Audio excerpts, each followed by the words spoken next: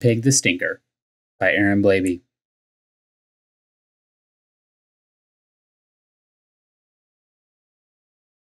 Pig was a pug, and I'm sorry to say, his personal hygiene was far from okay.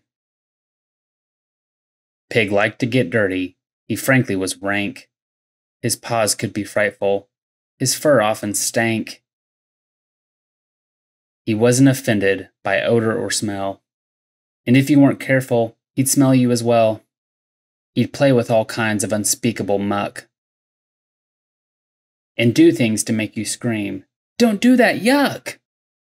He leaked out a stench that could not be forgotten. He reeked, he was rancid. In short, he was rotten.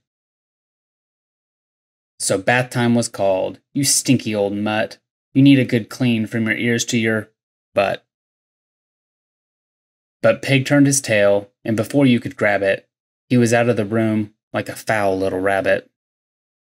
They chased him, but Pig had a devious knack for ducking and weaving and doubling back. And once he had lost them, he used a small toy to block up the pipes. Then he hooted with joy. By the time they had found him, Pig boogied with glee. You won't get your soapy old water on me. They watched as Pig gloated. They watched as Pig crowed. They watched as Pig's plan made the bathroom explode. These days it's different, I'm happy to say. If you tell Pig it's bath time, he won't disobey.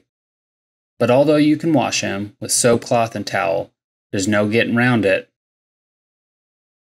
Pig is just foul.